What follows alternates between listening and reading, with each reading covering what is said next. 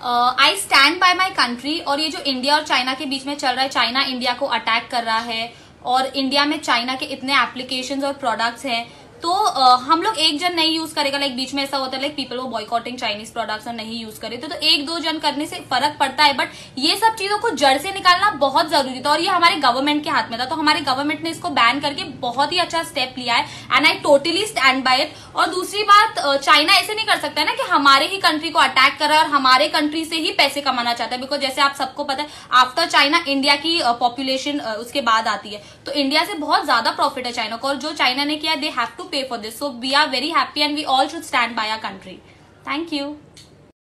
दोस्तों, देश और दुनिया से जुड़ी ऐसी खबरों के लिए आप हमारे चैनल को करें सब्सक्राइब वीडियो को करें लाइक और करें ज़्यादा से ज़्यादा शेयर और साथ ही साथ उस बेल आइकन को भी प्रेस कर दें ताकि अगली नोटिफिकेशन आपके फ़ोन पर सबसे पहले आए